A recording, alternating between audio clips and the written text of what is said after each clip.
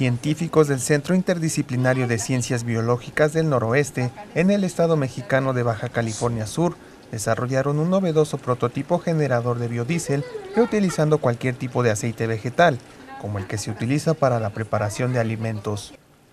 El combustible puede ser utilizado en cualquier máquina, ya sean vehículos, generadores de electricidad, embarcaciones o tractores, sin ningún tipo de modificación en su motor. Su eficiencia es del 80%, es decir, de cada 100 litros de aceite, 80 son convertidos en biodiesel y el resto en glicerina.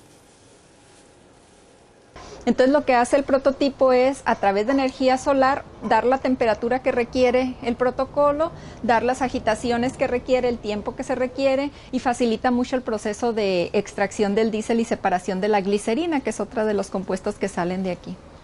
En Baja California Sur existen gran cantidad de rancherías y comunidades rurales a cientos de kilómetros de la mancha urbana más cercana, por lo que la oportunidad de generar su propio combustible puede mejorar la calidad de vida a sus habitantes.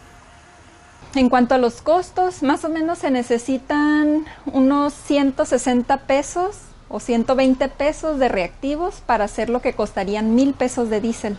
Entonces el ahorro es cinco veces el costo de lo que uno tiene. Esto es muy bueno para comunidades este, rurales de escasos recursos en donde les queda muy lejos un lugar en donde poder eh, abastecerse de energéticos. Actualmente, este grupo de científicos se encuentran diseñando un prototipo a pequeña escala, con la capacidad de generar 20 litros de combustible.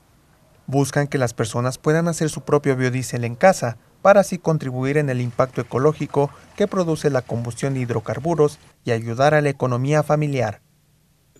Con información de la oficina en la Ciudad de México, Noticias Xinhua.